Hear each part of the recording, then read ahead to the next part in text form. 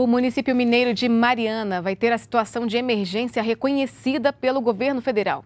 Na tarde dessa quinta-feira, duas barragens com rejeitos de mineração se romperam e cobriram de lama parte de um distrito da cidade. Com o reconhecimento do estado de emergência, o município vai poder receber verbas federais para assistência às vítimas, além da liberação do saque do FGTS para a população.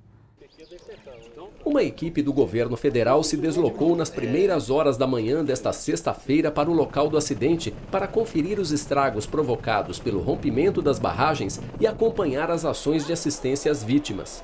Mariana fica a cerca de 100 quilômetros da capital mineira Belo Horizonte. O alagamento atingiu o distrito de Bento Rodrigues. O governo federal colocou à disposição batalhões militares no estado, mobilizou o Centro Nacional de Gerenciamento de Riscos e Desastres e acionou a Força Nacional do SUS, o Sistema Único de Saúde, para apoiar ações de resgate, busca e salvamento.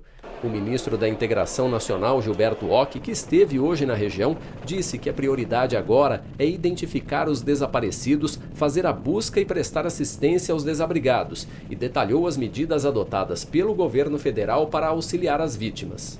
Já nos colocamos à disposição.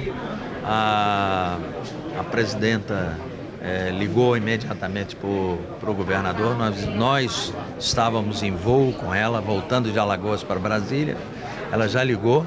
Chegamos hoje aqui por volta de 7 horas da manhã, já em Belo Horizonte, com o general Adriano, que é coordenador da Defesa Civil Nacional.